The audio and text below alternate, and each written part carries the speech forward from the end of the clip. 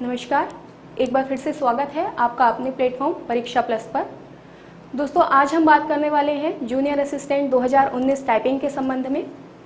जैसा कि आपको पता है कि रिटन एग्ज़ाम का रिज़ल्ट आउट हो चुका है और जैसे ही परिस्थितियाँ थोड़ी सामान्य होती हैं, आपका टाइपिंग एग्ज़ाम भी आयोग द्वारा कंडक्ट करवा दिया जाएगा।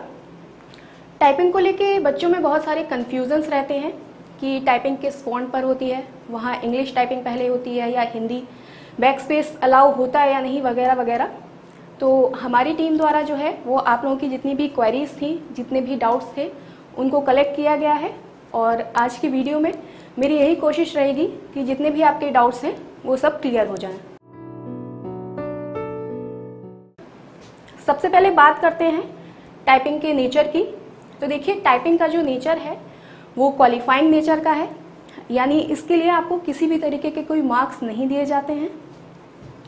अगर आप आयोग द्वारा निर्धारित शब्द सीमा को क्रॉस करते हैं तो आप इस एग्ज़ाम को क्वालिफाई कर जाते हैं। आयोग द्वारा निर्धारित वो शब्द सीमा कितनी है, आइए इस पर भी बात करते हैं। इंग्लिश में आपको 30 वर्ड्स पर मिनट और हिंदी में 25 वर्ड्स पर मिनट जो है, वो टाइप करना होता है। टोटल पाँच मिनट का आपको वहाँ पर समय दिया जाता है। पाँच मिनट के अकॉर्डिंग आपको इंग्लिश में 150 वर्ड्स और हिंदी में 125 वर्ड्स बिल्कुल सही टाइप करना होता है। अगर आप इतने वर्ड्स बिल्कुल सही टाइप करते हैं तो आप ये मान कर चलिए कि आप टाइपिंग एग्ज़ाम क्वालिफाई करने वाले हैं। टाइपिंग एग्ज़ाम में आप लोगों का फ़ॉन्ट कौन सा रहता है? एक ये, ये भी क्वेश्चन था आप लोगों का। तो देखिए वहाँ पर फ़ॉन्ट जो है वो कृतिदेव और मंगल दोनों ही अलाउ होते हैं। जब आप वहाँ पर जाते हैं तो आपसे वहाँ पर पूछा जाता है कि आप किस फ़ॉन्ट पर टाइपिंग करेंगे। और जो भी फ़ॉन्ट आप बताते हैं, उस अकॉर्डिंग वहाँ पर आपको एक सिस्टम अलॉट करवाया जाता है। आपको वहाँ सिस्टम पर सबसे पहले अपना जो डेट ऑफ़ बर्थ है और रजिस्ट्रेशन है रजिस्ट्रेशन नंबर जो आपको दिया जाता है, वो आपको लॉगिन करना होता है। लॉगिन करते ही आपके सामने एक इंस्ट्रक्शन का पेज जो है, वो खुलकर आता है। तो इंस्ट्रक्शन का पेज जब आपको, आपके सामने खुलकर आता है तो आपको उस पर एग्री करना होता है। एग्री करने के बाद आपके सामने एक मैटर खुलकर आता है। और वो मैटर जो है, वो इंग्लिश का होता है। तो सबसे पहले जो टाइपिंग होती है, वो इंग्लिश की होती है। जैसे ही आपकी पाँच मिनट की टाइपिंग जो है, वो कंप्लीट हो जाती है। उसके बाद जितनी भी आपकी नेट स्पीड है, वो प्लस आपने कितने सही वर्ड्स जो हैं, यानी WPM आपके कितने आए, वो दोनों ही चीज़ें शो कर जाती हैं और आपका पाँच मिनट जो है, वो कंप्लीट हो जाता है। सेम प्रोसेस जो है, वो हिंदी के साथ भी रहती है। विद इन फाइव मिनट्स जो है वो आपका हिंदी का टेस्ट स्टार्ट होता है और हिंदी में भी यही प्रक्रिया चलती है।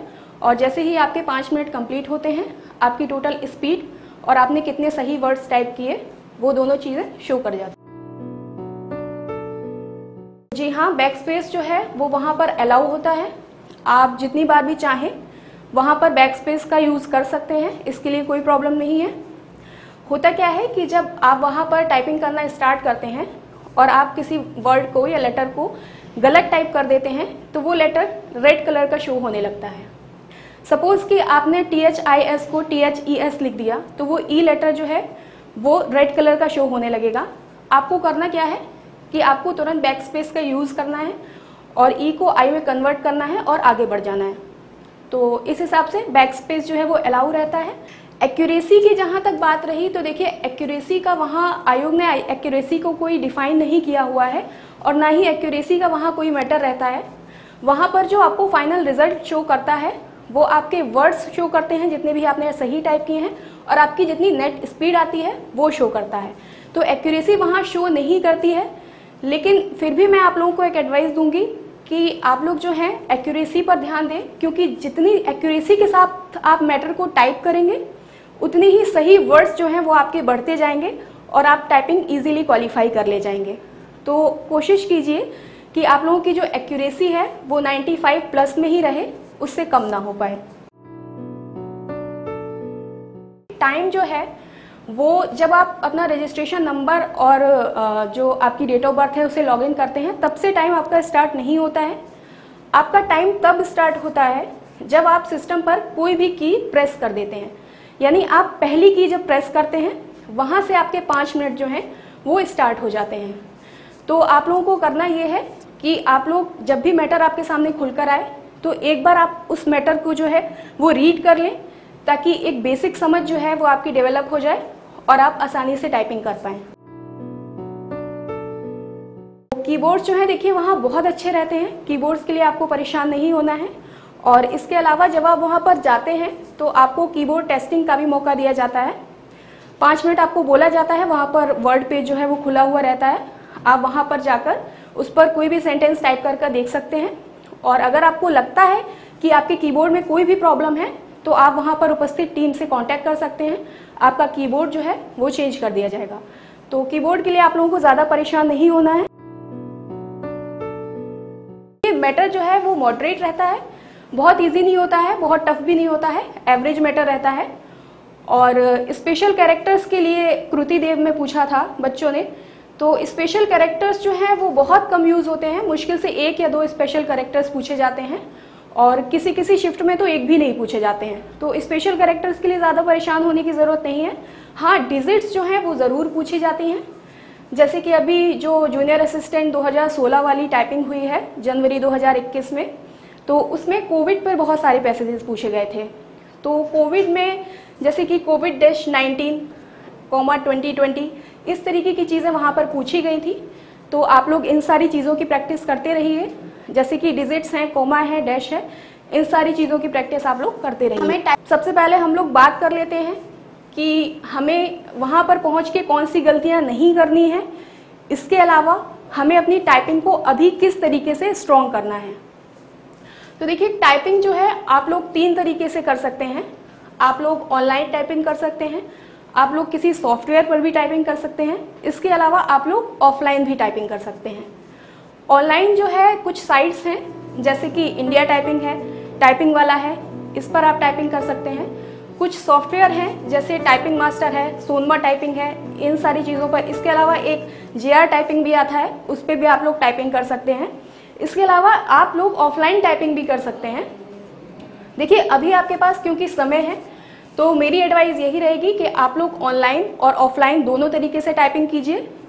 ऑनलाइन टाइपिंग ऑफलाइन टाइपिंग में देखिए, होता क्या है कि मैटर हमारे सामने रखा हुआ होता है और हमें स्क्रीन पर टाइप करना होता है। तो वो थोड़ा सा मुश्किल पड़ता है। लेकिन जैसे ही अगर हमारी एक बार पकड़ मज़बूत हो जाती है तो ऑनलाइन टाइपिंग करना हमारे लिए बहुत ज़्यादा आसान हो जाता है।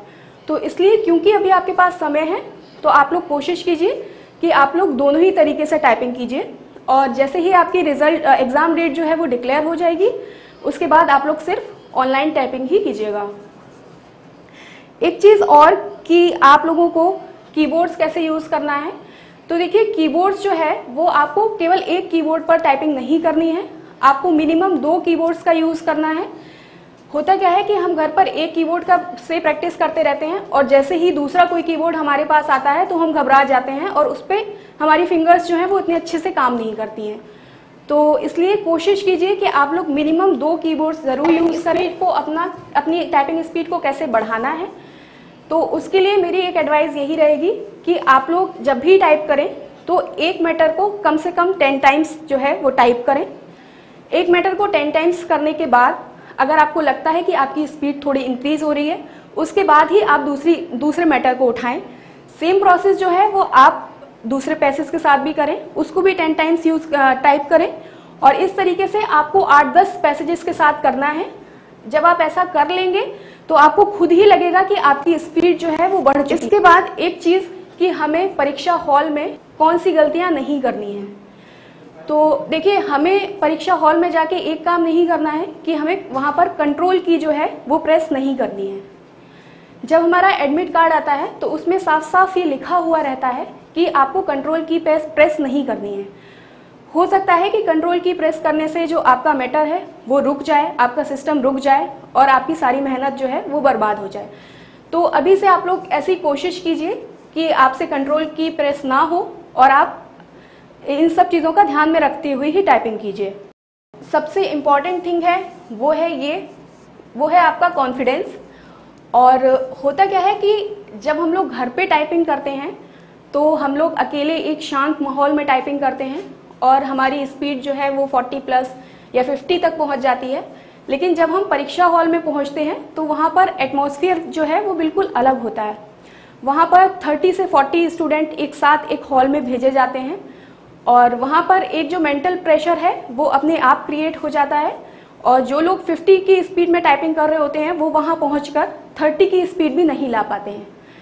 तो इसके लिए आप अपने कॉन्फिडेंस को कैसे बढ़ा सकते हैं, उसके लिए केवल एक ही तरीका है, और वो है ज़्यादा से ज़्यादा प्रैक्टिस आपको करना ये है कि आपको ज़्यादा से ज़्यादा टेस्ट देना है।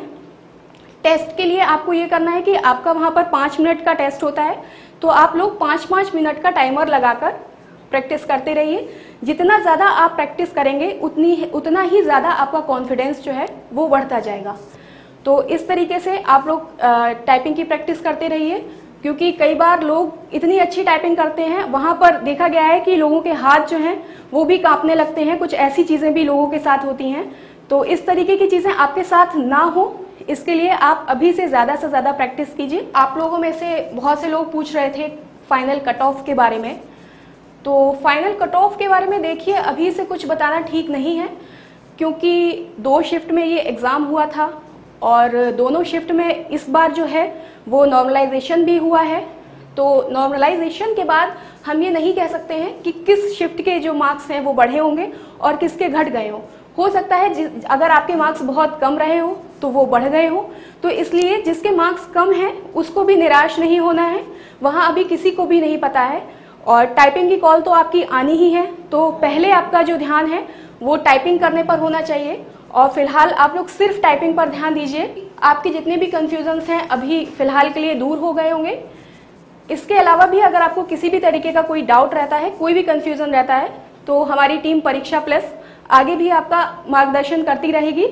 और फ़िलहाल आप लोग बस अच्छे से टाइपिंग कीजिए। अभी के लिए इतना ही। धन्यवाद।